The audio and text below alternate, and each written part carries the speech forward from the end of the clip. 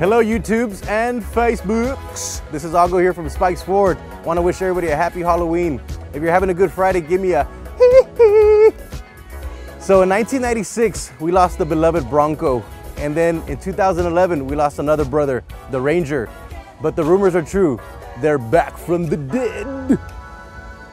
Darkness falls across the land and an old presence is close at hand, crawling back through the never.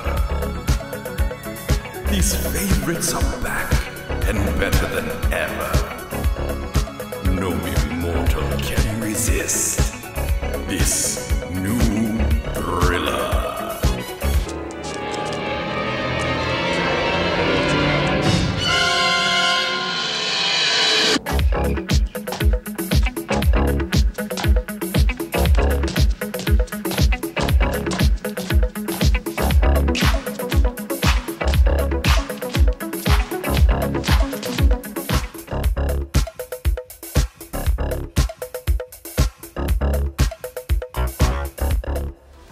So we are thrilled to have these two beasts back in the lineup. It's gonna scare other mid-sized trucks the way I get scared every night when I do the Bloody Mary. So with 270 Clydesdale horses under the hood, this little guy is no joke when it comes to the power. My Tio Pamphilo still has his 1983 Ranger. I thought we were gonna have to bury him in it. Maybe now I can get that silly man a new truck.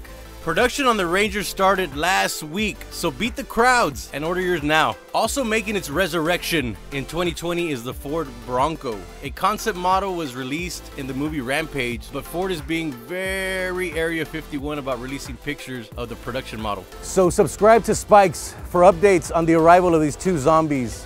This is Ago here from Spikes Ford, signing out.